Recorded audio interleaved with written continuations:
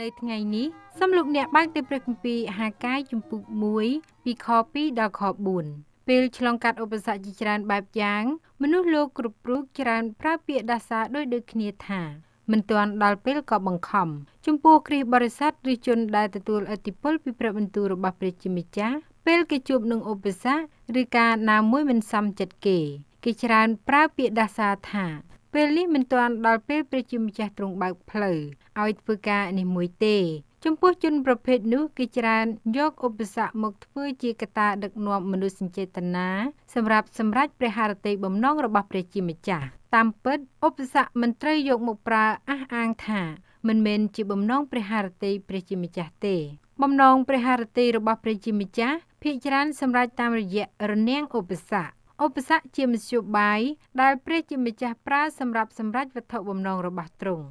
ដើម្បីបញ្ជាក់សេចក្តីក្នុងមេរៀនរបស់យើងសូមលោកអ្នកបងប្អូនផ្ចង់ចិត្តចូលចំពោះព្រះជាម្ចាស់តាមរយៈលោកគ្រូគង្វាលគង់ផនឆុន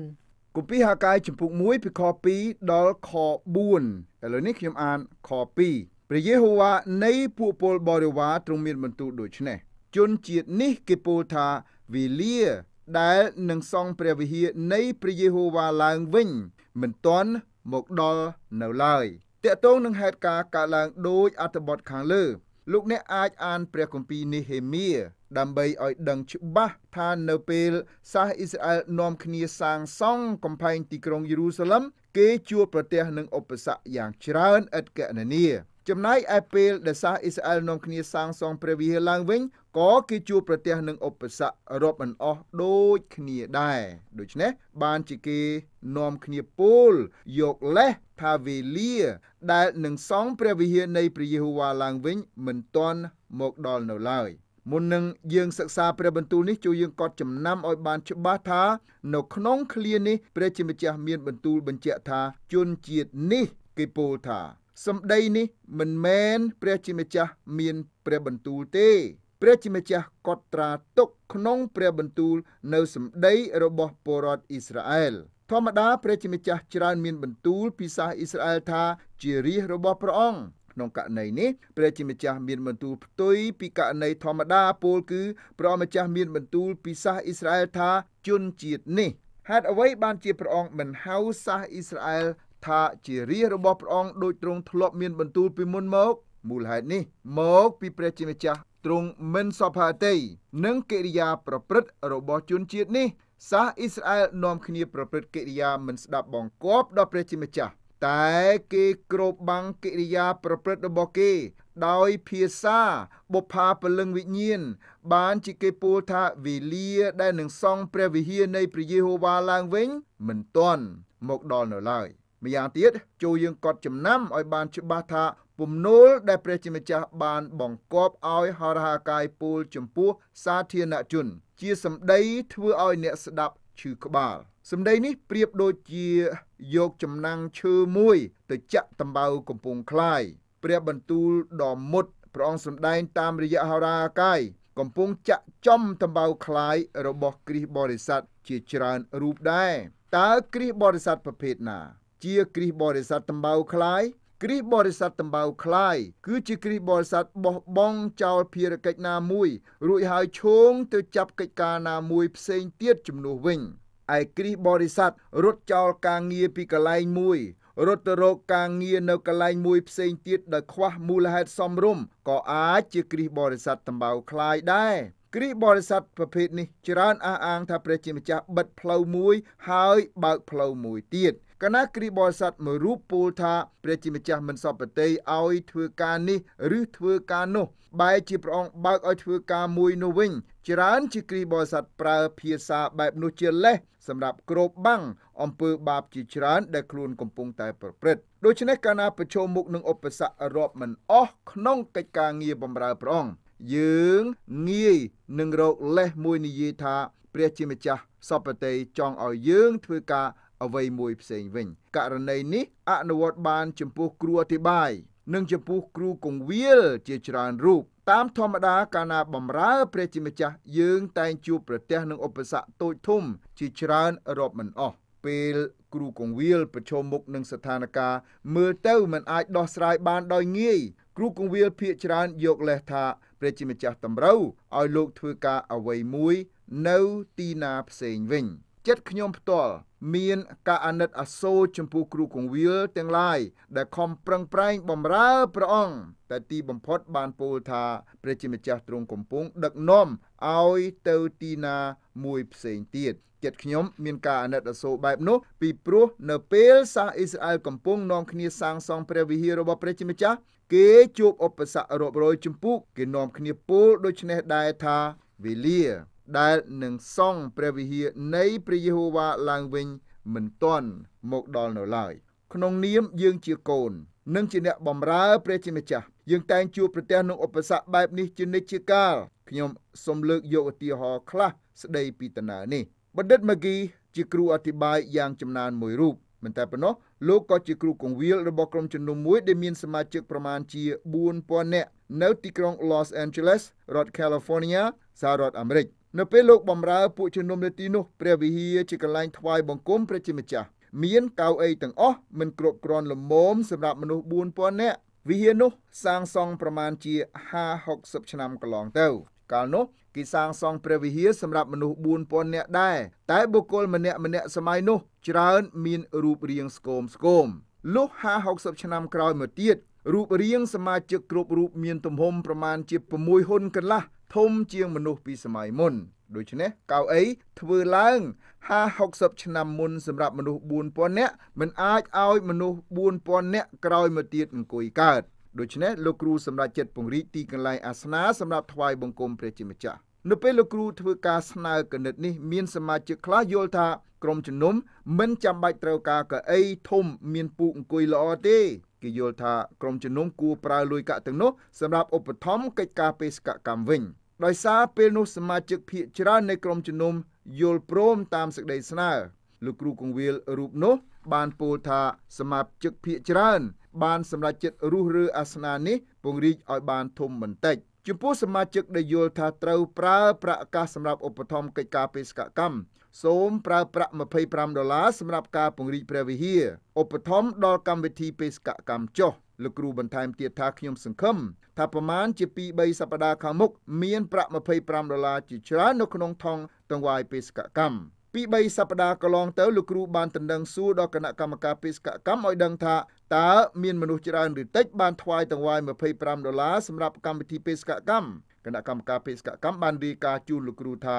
មានមនុស្សប្រមាណជា2 3នាក់បានថ្វាយតង្វាយ25ដុល្លារមែន កាលពីពេលគេគិតថាត្រូវប្រើប្រាក់សម្រាប់ឧបត្ថម្ភកម្មវិធីបេសកកម្មមានមនុស្សច្រើនជាង3នាក់ហេតុអ្វីបានជាមានត្រឹមតែ3នាក់ថ្វាយតង្វាយសម្រាប់កម្មវិធីបេសកកម្មធៀបពិតដូចជម្រាបជូនខាងលើ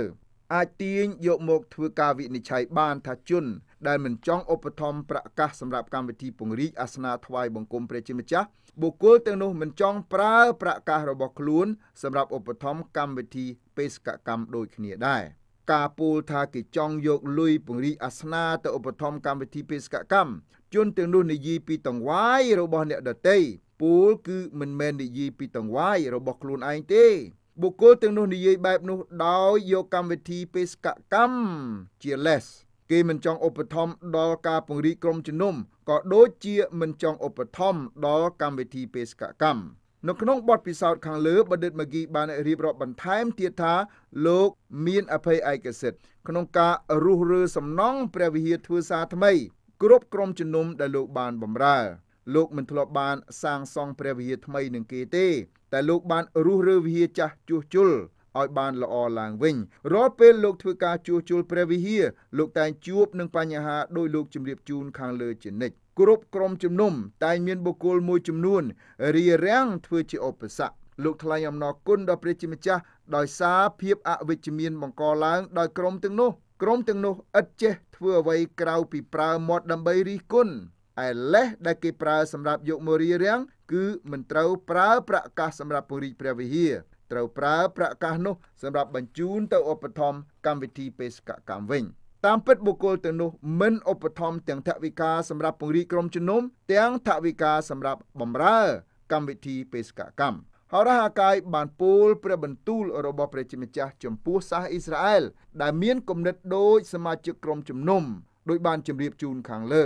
សាសអ៊ីស្រាអែលមានគំនិតមិនចង់សាងសង់ព្រះវិហាររបស់ក្រុមជំនុំដោយសារមានតម្បៅคล้ายនៅក្នុងចិត្តរបស់គេឥឡូវហរហាកាយបកកណាត់រុំតម្បៅ ដើម្បីឲ្យសាធារណជនឃើញតម្បៅคล้ายរបស់គេហើយពេលបកស្បៃរុំតម្បៅច្បាស់ជាធ្វើឲ្យបណ្ដាជនឈឺតម្បៅคล้ายរបស់គេជាប្រកបសូមយើងពិចារណា ពីពរិជាសាទី1ដែលហរាកាយបានពោលនៅថ្ងៃទី1ខែកញ្ញាឆ្នាំ520មុនគ្រិស្តសករាជសូមលោកអ្នកមេត្តាកត់ចំណាំឲ្យបានច្បាស់ថាហរហាកាយមិនបានពោលមតិផ្ទាល់ខ្លួនរបស់លោកទេ លោកពោលអាជ្ញានៃព្រះបន្ទូលរបស់ព្រះជាម្ចាស់គម្ពីរហាកាយជំពូក1ខ3ដល់ខ4ដូច្នេះព្រះបន្ទូលនៃព្រះយេហូវ៉ាក៏មក ដោយសារហោរហាកាយថាកំពុងដែលព្រះវិហារនេះនៅខូចបងនៅឡើយនោះតើជាវេលាឲ្យឯងរាល់គ្នាបានអាស្រ័យនៅក្នុងផ្ទះដែលបិទផ្ជិតដូច្នេះឬបដាជនពូលថាវេលា ដែលនឹងសង់ព្រះវិហារនៃព្រះយេហូវ៉ាឡើងវិញ មិនទាន់មកដល់នៅឡើយ ពេលគេមានគណិតបែបនោះតើគេកំពុងសាងសង់អ្វីវិញព្រះបន្ទូលរបស់ព្រះជាម្ចាស់សម្ដែងថាតើជាវេលាឯងរាល់គ្នាបានអាស្រ័យនៅ ក្នុងផ្ទះដែលបិទផ្ជិតដូចនេះឬ កំពុងតែគេមានគំនិតថាវេលានឹងសាងសង់ព្រះវិហារនៃព្រះយេហូវ៉ាឡើងវិញមិនទាន់មកដល់គេនាំគ្នាសង់ផ្ទះយ៉ាងមុំ ហើយមើលទៅឆើតឆាយយ៉ាងខ្លាំងក្រៃលែងគ្រឹះសំណង់ផ្ទះរបស់គេចាក់សុទ្ធតែថ្មសសរបេតុងជញ្ជាំងរៀបសុទ្ធតែអិតតាន់ដំបូលមានផ្ទងផ្លានដៃរណែងសុទ្ធតែធ្វើពីដែកដំបូលប្រក់ក្បឿងនាំចូលមកពីបរទេសក្បូរក្បាច់រចនាមើលទៅគួរឲ្យគយគុណខ្លាំងណាស់ចំណែកឯតំណាក់របស់ព្រះជាម្ចាស់វិញមើលទៅដូចជាខ្ទមចាំចាប់ ឯធូលីដីក្នុងព្រះវិហារស្ទើរធ្វើស្រែអំពកមួយបាន ស្មៅដុះលិចដល់កម្មចិន្តាព្រះវិហារព្រះម្ចាស់ដណ្ដឹងសួរដល់ពួកបដាជនថាតើជាវេលាឲ្យឯងរាល់គ្នាបានអាស្រ័យនៅក្នុងផ្ទះដែលបិទផ្ជិតដូចនេះឬចំណែកការដេញចាប់សក្តីលោភលន់ដែលមាននៅក្នុងចិត្តគេវិញជាប់ស្អិតមិនងាយបេះដូចដៃតកែមនុស្សលោកមិនតន់ដូរគំនិតអាក្រក់របស់ខ្លួននៅឡើយទេ ទាំងខ្ញុំទាំងគេសុទ្ធតែមានគំនិតអាក្រក់បែបនេះដូចដូចគ្នា មនុស្សយើងច្រើនខំធ្វើការអ្វីមួយ ដែលយើងអាចស្រូបយកប្រយោជន៍បានពីកិច្ចការនោះនៅសម័យហរហាកាយរស់នៅ ស្ថានភាពសេដ្ឋកិច្ចស្ថានភាពសង្គមនិងស្ថានភាពនយោបាយមានការតឹងតែងខ្លាំងណាស់បើដូច្នេះតើហេតុដូចម្ដេចបានជាគេអាចសាងសង់ផ្ទះបានល្អប្រណិតខ្លាំងម្ល៉េះ តើការសាងសង់ផ្ទះរបស់គេគ្មានឧបសគ្គរារាំងទេឬការសង់ផ្ទះសម្បែងបានល្អប្រណិត ក្នុងស្ថានភាពសេដ្ឋកិច្ចអន់ថយមានឧបសគ្គរារាំងរាប់មិនអស់ដែរប៉ុន្តែទោះជាយ៉ាងនោះក៏ដោយគេខំប្រឹងប្រែងជំនះឧបសគ្គទាំងនោះ ដើម្បីសាងសង់ផ្ទះរបស់គេបានយ៉ាងល្អប្រណិត ចំណែកការសាងសង់តំណាក់របស់ព្រះជាម្ចាស់ក៏មានឧបសគ្គដូចការសាងសង់ផ្ទះសម្បែងរបស់គេដែរ រវាងឧបសគ្គក្នុងការសាងសង់ផ្ទះផ្ទាល់ខ្លួន និងឧបសគ្គរារាំងក្នុងការសាងសង់ព្រះវិហាររបស់ព្រះជាម្ចាស់គេសម្រេចចិត្តជ្រើសរើសយកជ័យជំនះលើឧបសគ្គនៃការសាងសង់ផ្ទះផ្ទាល់ខ្លួនឯឧបសគ្គក្នុងការសាងសង់ព្រះវិហាររបស់ព្រះជាម្ចាស់គេមិនព្រមយកជ័យជំនះឲ្យបានត្រចះត្រចង់ទេ គេបែរជានាំគ្នាពោលពាក្យបុផាភាសាពលឹងវិញ្ញាណថាវេលា ដែលនឹងសាងសង់ព្រះវិហារនៃព្រះយេហូវ៉ាឡើងវិញមិនទាន់មកដល់នៅឡើយក្នុងនាមខ្ញុំផ្ទាល់ជាអ្នកបម្រើព្រះអង្គខ្ញុំធុញទ្រាន់ខ្លាំងណាស់ដោយមានមនុស្សជាច្រើនយកលេសធ្វើជាឧបសគ្គមិនព្រមបម្រើព្រះជាម្ចាស់តើអ្នកទាំងនោះយកអ្វីមកធ្វើជាកត្តាសម្រាប់ជាលេសគេយកលេសបើមិនមែនជាបំណងផាតីរបស់ព្រះជាម្ចាស់ធ្វើជាឧបសគ្គគេយល់ថាកាលណាមានឧបសគ្គរារាំងផ្លូវគេ គេមិនបំរើព្រះជាម្ចាស់តាមបំណងផាតីរបស់ទ្រង់តាមពិតយើងមិនអាចយកឧបសគ្គរារាំងមកធ្វើជាកត្តាបញ្ជាក់ថាយើងបំរើព្រះជាម្ចាស់មិនត្រូវតាមបំណងផាតីរបស់ទ្រង់ទេលោកអ្នកមិនអាចបកស្រាយបំណងផាតីរបស់ព្រះជាម្ចាស់ដោយយកឧបសគ្គមកធ្វើជាលេសជាដាច់ខាតភាកច្រើនឧបសគ្គរារាំងផ្លូវយើង ជាបំណងផាតីរបស់ព្រះជាម្ចាស់ ព្រះអង្គអាចប្រើឧបសគ្គទាំងនោះដើម្បីសម្រេចបំណងរបស់ទ្រង់នៅក្នុងកិច្ចការដែលព្រះជាម្ចាស់ប្រើឲ្យយើងបម្រើព្រះអង្គក៏មានដែរសូមលោកអ្នកពិចារណាពីកិច្ចការដែលពួកបរិសុទ្ធពីបុរាណបម្រើកិច្ចការងាររបស់ព្រះជាម្ចាស់សង្ឃបរិសុទ្ធគ្រប់រូបដែលព្រះជាម្ចាស់ត្រាស់ហៅឲ្យបម្រើព្រះអង្គភាកច្រើនជួបប្រទះនឹងបញ្ហារាប់រយជំពូករារាំងផ្លូវលោកពេលលោកបម្រើព្រះជាម្ចាស់ត្រូវតាមបំណងផាតីរបស់ទ្រង់ដូច្នេះ បំណងផាតីរបស់ព្រះជាម្ចាស់ចំពោះបុគ្គលម្នាក់ជាអ្នកបម្រើព្រះអង្គមិនមែនសុទ្ធតែផ្លូវក្រាលកៅស៊ូមិនរលាក់នៅមុខយើងទាំងអស់ទេ ផ្លូវរលាក់ផ្លូវឧបសគ្គផ្លូវគ្រោះថ្នាក់ច្រើនជាភក្តីបំណងរបស់ព្រះជាម្ចាស់ចំពោះកូនព្រះអង្គគ្រប់រូបខ្ញុំសូមលើកយកឧទាហរណ៍ពីលោកអាប់រ៉ាហាំមកធ្វើជាករណីពីដំណើរនេះចុះបើលោកអាប់រ៉ាហាំរស់នៅសពថ្ងៃនេះវិញខ្ញុំមិនដឹងថាតើលោកពូលយ៉ាងណា ចំពោះបណ្ដាជនដែលពូលថាវេលា ដែលនឹងសង់ព្រះវិហារនៃព្រះយេហូវ៉ាឡើងវិញមិនទាន់មកដល់នៅឡើយលោកអាប់រ៉ាហាំរស់នៅទីក្រុងអឺខេត្ត Calde ពេលរស់នៅទីក្រុងនោះ លោកជាពាណិជ្ជករមួយរូបរកស៊ីមានបាន ក្នុងចំណោមអ្នកមានមុខមាត់ទាំងឡាយរស់នៅក្នុងទីក្រុង លោកត្រូវជាឪពុករបស់សាសអ៊ីស្រាអែលមុខរបររកស៊ីរបស់លោកកបកលដុសដាលវាលគុំខ្លាំងណាស់ ទីក្រុងអឺជាទីក្រុងមានអរិយធម៌ខ្ពង់ខ្ពស់ជាទីក្រុងសម្បូរសប្បាយយ៉ាងខ្លាំងនៅក្នុងសម័យនោះនៅទីក្រុងនោះជាទីក្រុងឆើតឆាយមានសួនច្បារសាធារណៈ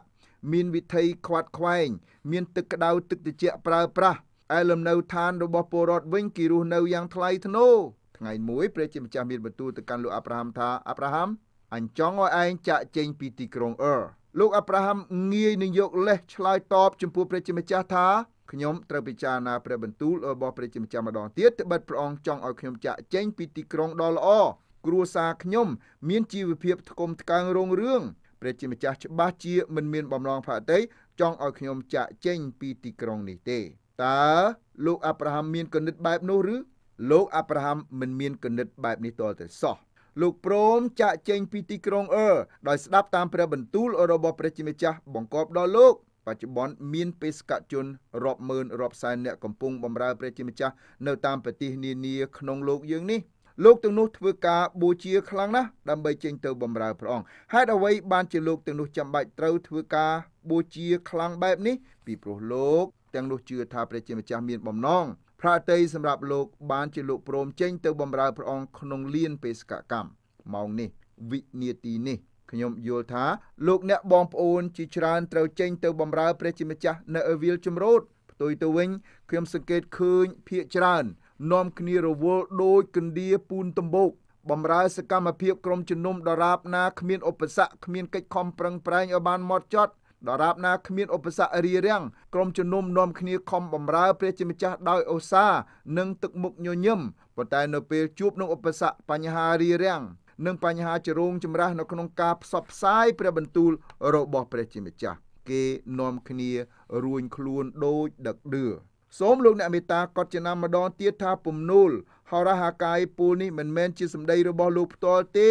ពំនូលនេះជាព្រះបន្ទូលអាជ្ញារបស់ព្រះជាម្ចាស់ចុះព្រះវិហារដែលយើងសាងសង់តើគួរឲ្យបានល្អឬក៏មិនចាំបាច់ធ្វើឲ្យបានល្អនៅប្រទេសមិចស៊ីកូជាដើម គេនាំគ្នាសាងសង់ព្រះវិហារដោយតុបតែងយ៉ាងល្អប្រណិត នៅក្បែរព្រះវិហារមានជនក្រីក្ររស់នៅជាច្រើនតើករណីនេះរាប់ថាជាការល្អឬអាក្រក់ម្យ៉ាងខ្ញុំយល់ថាក្រុមជំនុំមិនគួរសាងសង់ព្រះវិហារអ្វីឲ្យល្អប្រណិតដូចនេះទេនៅក្នុងចំណោមភូមិស្រុកមានប្រជាពលរដ្ឋក្រីក្ររស់នៅ ប៉ុន្តែខ្ញុំយល់ថាព្រះវិហារក៏មិនត្រូវមានភាពរយិរយាកខ្លាំងពេកដែរព្រះវិហារត្រូវមានលក្ខណៈសមរម្យល្មមដើម្បីឲ្យជនមានបាបអាចទទួលស្គាល់ថាជាទីសក្ការៈបូជាចំណែកសមាជិកក្រុមជំនុំដែលមិនព្រមសាងសង់វិហាររបស់ខ្លួនឲ្យបានល្អដោយយកលេសទុកផ្ញើប្រាក់តង្វាយទៅឧបត្ថម្ភកម្មវិធីបេសកកម្មជាអំពើមិនគួរគប្បីសមាជិកក្រុមជំនុំត្រូវប្រកាន់យក បណ្ឌិតម៉ាហ្គីបានឲ្យឧទាហរណ៍មួយថាចាស់ទុំមួយរូបបានអញ្ជើញលោកទៅសម្រាកនៅផ្ទះរបស់គាត់គេហដ្ឋានរបស់ចាស់ទុំរូបនោះមានតម្លៃប្រមាណជា100,000ដុល្លារនៅឆ្នាំ1940បើគិតតម្លៃក្នុងពេលបច្ចុប្បន្នផ្ទះនេះមានតម្លៃខ្ពស់ណាស់អ្នកចាស់ទុំរូបនោះបានប្រគល់បន្ទប់មួយ ដែលបណ្ឌិតម៉ាគីយល់ថាជាបន្ទប់ល្អបណ្ដាច់លោកធ្លាប់សម្រានមួយជីវិតរបស់លោកចំណែកព្រះវិហារដែលចាស់ទុំរូបនោះបំរើជាចាស់ទុំ ដំបូលក៏រខិរខៈជញ្ជាំងមើលទៅដូចខ្ទមស្រែសុតសាតរីឯកៅអីខាងក្នុងព្រះវិហារវិញក៏មិនគួរមើលដែរចាស់ទុំរូបនោះបានអះអាងថាព្រះវិហាររបស់យើងមិនចាំបាច់ល្អទេពីព្រោះយើងប្រើលុយកាក់ដើម្បីបញ្ជូនទៅគ្រប់គ្រងកម្មវិធីបេសកកម្មបណ្ឌិតម៉ាហ្គីចាំបាច់ត្រូវដេបបូរមាត់របស់លោកឲ្យចិត្តពីព្រោះនៅក្នុងចិត្តលោកបានពូលស្ងាត់ស្ងាត់ថាបើចាស់ទុំជឿលើកម្មវិធីបេសកកម្ម ហេតុអ្វីបានជាគាត់មិនប្រើលុយកាក់បន្ថែមទៀតសម្រាប់ធ្វើព្រះវិហារឲ្យបានសមរម្យផងហេតុអ្វីបានជាផ្ទះរបស់លោកធំដូចសំពៅឯតំណាក់របស់ព្រះជាម្ចាស់មើលទៅដូចជាខ្ទមចាំចាប់បណ្ឌិតម៉ាគីមិនបានពូលពាក្យនេះទេគឺលោកគ្រាន់តែគិតនៅក្នុងចិត្តរបស់លោកខ្ញុំសូមការអនុញ្ញាតពីលោកអ្នកដណ្ដឹងសួរសំណួរខ្លះៗដល់លោកអ្នកដូចខាងក្រោមតើលោកអ្នកប្រើប្រាស់ធនធានរបស់លោកអ្នកប៉ុន្មានសម្រាប់ខ្លួនឯង ហើយប្រមាណទៀតសម្រាប់ព្រះជាម្ចាស់សំណួរនេះប្រៀបដូចជាចំណាំងឈើយកមកចាក់តំបៅคล้ายរបស់លោកអ្នកហើយបណ្ឌិតម៉ាហ្គីសង្កេតឃើញហេតុការណ៍មួយទៀតតាក់ទងនឹងព្រឹត្តិការណ៍ខាងលើចាស់ទុំមួយរូបបាននាំលោកទៅទទួលទានអាហារនៅក្នុងហាងមួយដែលគេលក់ម្ហូបថ្លៃថ្លៃបន្ទាប់ពីលោកទទួលទានអាហារគ្រប់គ្រាន់លោកឃើញចាស់ទុំរូបនោះបងថ្លៃម្ហូបអាហារមានតម្លៃខ្ពស់មិនតែប៉ុណ្ណោះអ្នកចាស់ទុំរូបនោះបានជូនប្រាក់ទឹកតែ ដល់អ្នកបម្រើយ៉ាងច្រើនថែមទៀតផងបន្ទាប់ពីទទួលទានអាហារលោកទាំងពីរបាននាំគ្នាទៅក្រាបថ្វាយបង្គំព្រះជាម្ចាស់ពីព្រោះមានគ្រូអធិបាយចំណានមួយរូបបានអញ្ជើញមកអធិបាយព្រះបន្ទូលនៅក្នុងភូមិស្រុករបស់លោកនៅពេលគេលើកទាំងវាយអ្នកចាស់ទុំរូបនោះបានដកប្រាក់ដុល្លារកញ្ចាស់1ដុល្លារថ្វាយដល់ព្រះជាម្ចាស់បណ្ឌិតម៉ាហ្គីគិតក្នុងចិត្តថាពធហើយសំបីប្រាក់ទឹកតែ គេមិនបានថ្វាយដល់ព្រះជាម្ចាស់ផង តើលោកអ្នកមិនយល់ថាព្រះបន្ទូលព្រះជាម្ចាស់ប្រើហរហាកាយឲ្យពលនេះប៉ះពាល់ដល់ដំបៅខ្លាយរបស់លោកអ្នកទេឬសាសអ៊ីស្រាអែលនាំគ្នាពោលថាវេលាដែលនឹងសង់ព្រះវិហារនៃព្រះយេហូវ៉ាឡើងវិញមិនទាន់មកដល់នៅឡើយនៅពេលសាសអ៊ីស្រាអែលកំពុងនាំគ្នាពោលពាក្យបែបនេះព្រះជាម្ចាស់ដណ្ដឹងសួរទៅគេវិញថាបើដូច្នេះតើជាវេលាឯងរកគ្នាបានអាស្រ័យនៅក្នុងផ្ទះដែលបិទផ្ជិតយ៉ាងដូច្នេះឬ នៅក្នុងក្រុមជំនុំរបស់ព្រះអម្ចាស់យេស៊ូវមានជនប្រព្រឹត្តកិរិយាមានពុតច្រើនណាស់ជនមានពុតច្រើនអួតពីចំនួនតង្វាយដែលគេបានថ្វាយដល់ព្រះជាម្ចាស់ចំណែកតង្វាយដែលគេថ្វាយសម្រាប់ខ្លួនគេវិញ មានរាប់ពាន់ដង ច្រើនជាងតង្វាយដែលគេថ្វាយសម្រាប់កិច្ចការងាររបស់ព្រះដ៏ខ្ពស់ដោយជំរាបជូន លោកអ្នករួចមកហើយថាព្រះបន្ទូលរបស់ព្រះជាម្ចាស់តាមរយៈហោរាកាយមុតដូចចំណាំងឈើយកទៅចាក់តំបៅคล้ายដូច្នេះហើយបានជាសាធារណជនស្អប់ហោរាកាយសំបីដានជើងរបស់លោកក៏គេចង់កោះចោលដែរហរាកាយប្រៀបដូចជានាឡិការੂមួយគ្រឿងមនុស្សលោកយើងស្អប់នាឡិការੂណាស់នាឡិការੂជាវត្ថុមួយយើងប្រើប្រាស់សម្រាប់ទ្រទ្រង់ជីវភាពរស់នៅរបស់យើង ប៉ុន្តែក្នុងចំណោមមនុស្សលោកគ្មាននរណាម្នាក់ចូលចិត្តនាឡិការូទេតើនរណាម្នាក់ចូលចិត្តឲ្យគេរំខានយើងពេលយើងដេកកំពុងលក់ស្កប់ស្កល់ជនដែលរកឃើញនាឡិការូគួរទទួលទោសជាជនអក្រិតយើងមិនគួរនាំគ្នាយកលុយទៅទិញនាឡិការូមករំខានជីវិតយើងទេប៉ុន្តែតើនរណាម្នាក់ដែលមិនត្រូវការនាឡិការូសិវពលក៏ជានាឡិការូមួយរូបដែរសប្តាហ៍ថ្ងៃនេះបើសិវពលរស់នៅលើលោកយើង ច្បាស់ជាគេចាប់លោកដាក់គុកដោយចោទគាត់ថាជាអ្នកបង្កឲ្យមានអស្ថិរភាពសង្គមចំណែកលោកយ៉ូហានបាប់ទីវិញបើរស់នៅសប្តាហ៍គេក៏ចាប់លោកកាត់ទោសប្រហារជីវិតដែរគេមិនបានប្រកាន់ទោសអូសដំណើរអ្វីដោយសារលោកពូលទាស់នឹងស្ដេចមានប្រពន្ធចុងទេគេនាំគ្នាកាត់ទោសប្រហារជីវិតលោកដោយសារលោកហ៊ាននិយាយចំចំខ្លាំងពេក លោកអ្នកបងប្អូនហើយមនុស្សលោកមិនដែលចូលចិត្តជនណាប្រកាសព្រះបន្ទូលរបស់ព្រះជាម្ចាស់ឲ្យគេឮទេព្រះបន្ទូលរបស់ព្រះជាម្ចាស់ធ្វើឲ្យចិត្តគេនៅមិនសុខសាសអ៊ីស្រាអែលទើបនឹងត្រឡប់មកពីស្រុកដែលគេរស់នៅជាខ្ញុំគេពេលត្រឡប់មកដល់ស្រុកភូមិវិញគេត្រូវការអ្វីអ្វីសពបែបយ៉ាងដើម្បីស្រង់ដើមហោរាកាយពូលទាស់ទៅតឹងនៅអំពើបាបរបស់គេដូច្នេះលោកជាសាច់មួយដុំស្ថិតនៅចន្លោះកំបិតប៉ាំងតោ ហើយនឹងជ្រុញដ៏ធំលោកបំពេញតួនាទីជាហោរារបស់ព្រះជាម្ចាស់ប្រកាសព្រះបន្ទូលព្រះអង្គឲ្យមនុស្សលោកបានដឹងទោះបីព្រះបន្ទូលនោះមិនមែនជាព្រះបន្ទូលដំបូងបង្អស់ក៏ដោយលោកប្រើមធ្យោបាយដូចហោរាឯទៀតដែរមធ្យោបាយដែលលោកប្រើនៅមានប្រសិទ្ធភាពមកទល់ពេលសប្តាហ៍នេះលោកប្រើព្រះបន្ទូលជាចំណាំងឈើដើម្បីកោសតម្បៅคลายអំពើបាបដែលមាននៅក្នុងចិត្តរបស់រាជព្រះជាម្ចាស់ឥឡូវនេះ យើងស្លេះការសិក្សាគម្ពីរហាកាយ